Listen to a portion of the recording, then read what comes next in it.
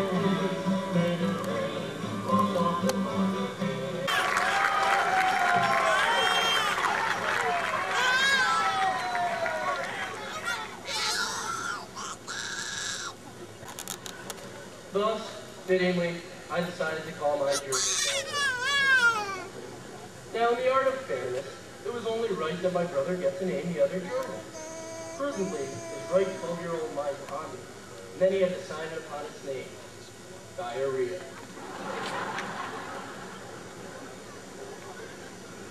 Diarrhea, I exclaimed. I could not believe my ears. My brother had taken something so beautiful and soft and sullied it to the very core through that one awful word. As for my parents, they did not object. But in reality, what had my parents allowed? Had they made my brother into a monster destined to become the next Unabomber? No. They had allowed him to exercise his fundamental right to freedom of speech. It wasn't the name that gave the so important. Rather, it was the fact that my parents did not squander his son here today into naming their pets with lewd or disgusting words. On the contrary, my message is of a different nature. Soon we will all go forth into the world for the first time with a certain level of independence. We will attend college, or go to work, and more or less be out on our own. Along the way, we will meet many people, some good, some bad, and strange, and I hope we put them in their place. I say this not because I desire to reprimand evil beings of this world, but because following your dreams is the greatest form of self-expression. Those people whom I simply call good will love us, embrace us, and support us in everything and anything we do. They will defend our natural right to be ourselves, while simultaneously allowing us to question final exams. The only question on the test was, why? The students were allotted three hours, and most students used the entire time period. As the professor sat down at his desk that night, he began to Good points in each, but on the whole, most papers were simply smoke and mirrors used to divert the issue at hand. Until he came to one particular paper. There, on John Doe's paper, was the best answer the professor had ever seen. And it went exactly as follows. Why not? Thank you.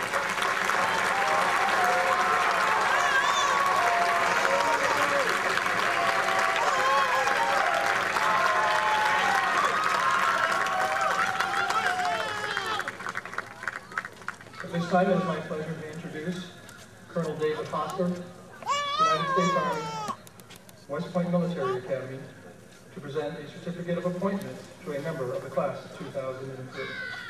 Colonel Hosler.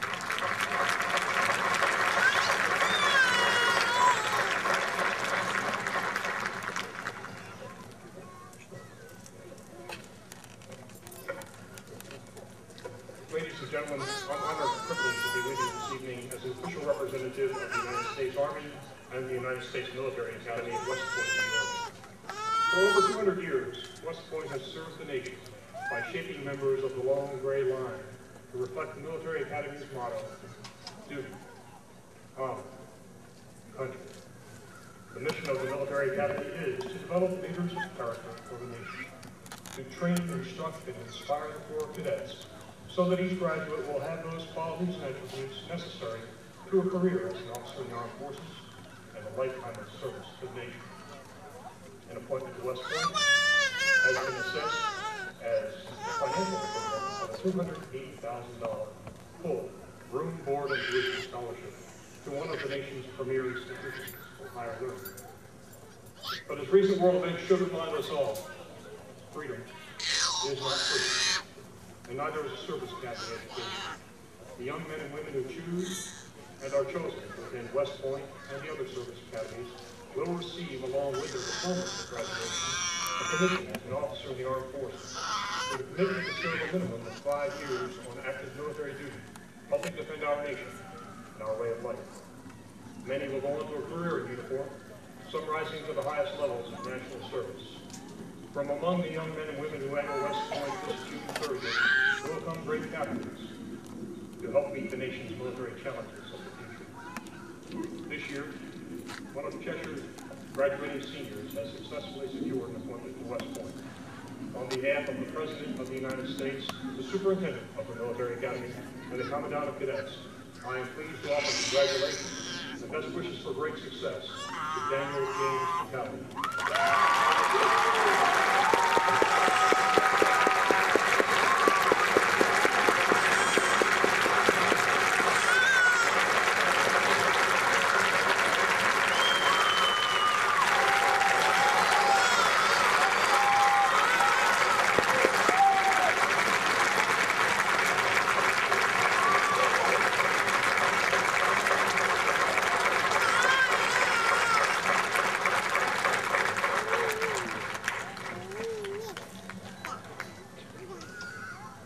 It gives me great pleasure to introduce this year's commencement speaker. You look so pretty.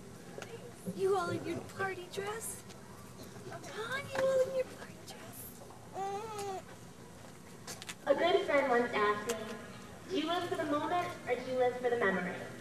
Right away I answered that I live for the moment, those exhilarating times, that rush of adrenaline to define a day, a month, or even a year. The moment holds so much thrill and so much excitement and promise of what's to come and what's right there in front of you. We've all been on an adventure. These past four years can be described as anything but boring. For every single one of us, there have been moments to define who we are, what we believe in, and what means the most to us. No matter where life is taking you, from the fall of 1999 to right now in the spring of 2003, you've had an glory when our boys lacrosse team won state championships. Declared the senior parking lot ours by decorating our hockey stock the night before the first day of school.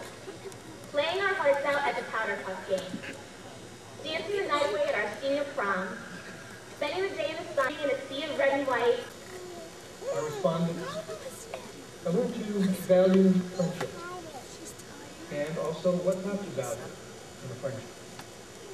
I surprised even myself with the remark because I thought I would say something profoundly academic.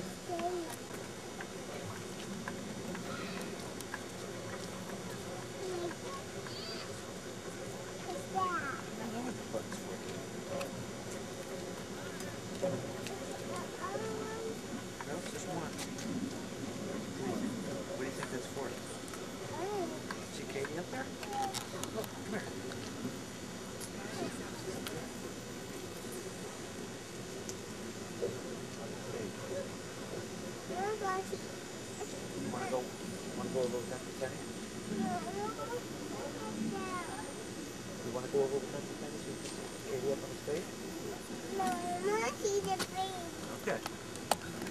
I can watch it.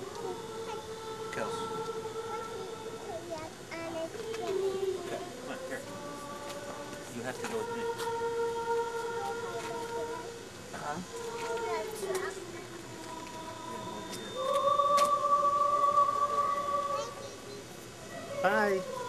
Say goodbye.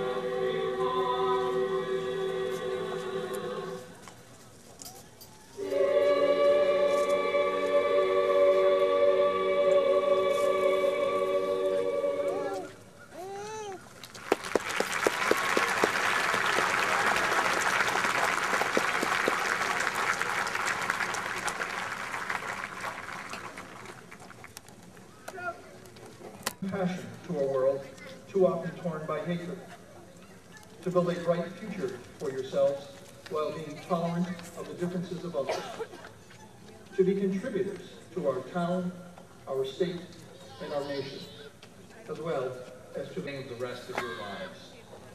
A major milestone has been passed in your relatively young lives, and it is that milestone that we celebrate. Choose to do with what has been given to you is now squarely up to you. One of the heroes of my life was President Theodore Roosevelt.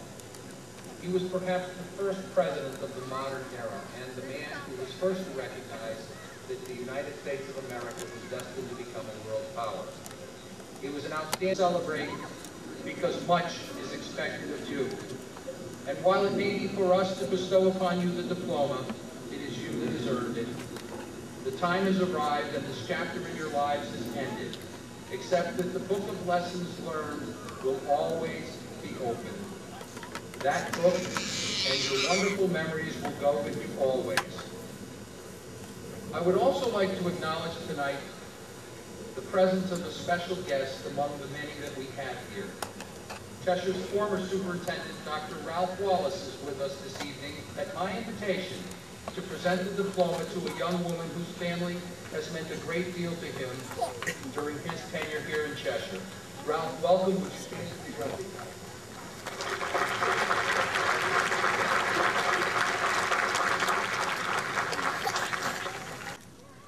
delivering goods to the inn and disturbing my sleep. They were bringing food for the restaurants, clean bedding, and all the others allowed us to enjoy a carefree yeah. yeah. All of us, of course, rely on other people for our needs each and every day. Parents provide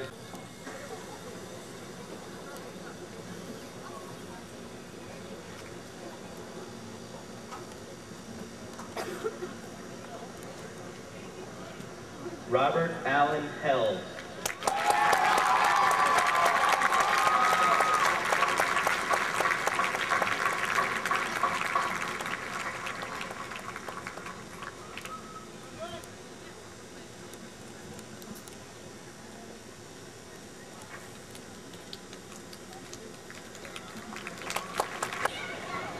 Kristen Marie Amore. Joseph Alexander. Kelsey Michelle Arena. Michael Vincent Amato. Laura Suzanne Armin. Timothy Anthony Andriatis. Jenna Lynn Audette.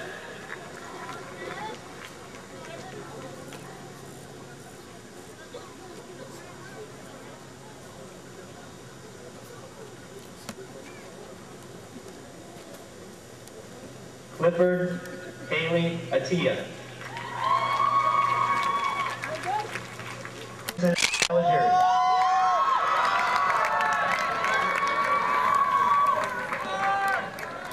Mary Elizabeth Chamberlain.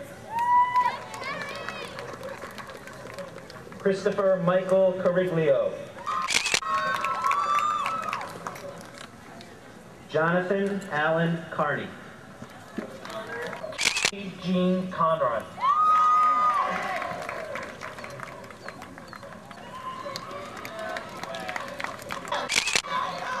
Andrew Chin.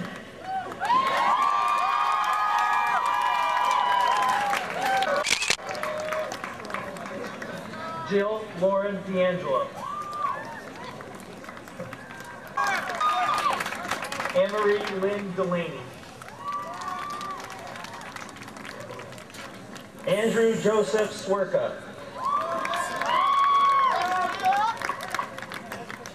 Jennifer Ann Dennis. Michael L. DeGeorge.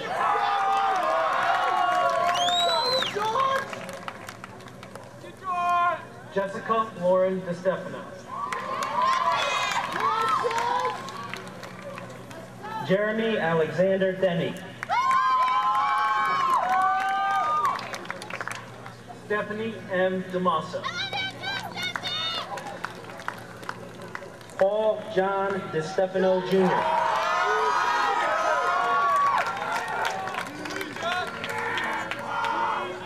Maureen Angelica Donnie.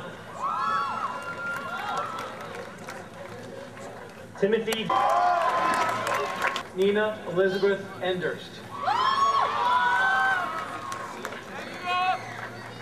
Kyle Thomas Stroller.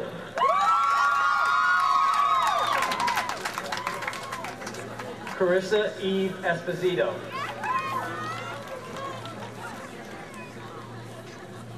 Russell James Duffy, presented by faculty member Anne Marie Duffy.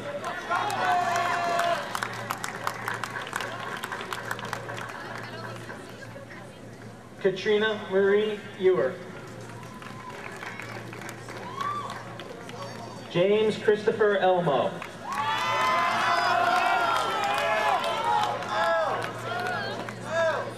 Fallon Marie Vizino. Keith Andrew Erickson.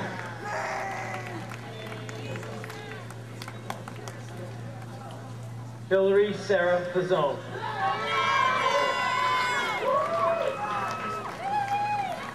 Kian Leon Farrell. Lisa Marie Felton.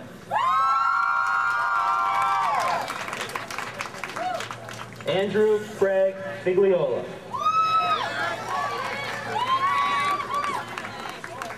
Catherine Elise Festa. Caitlin Ann Glass.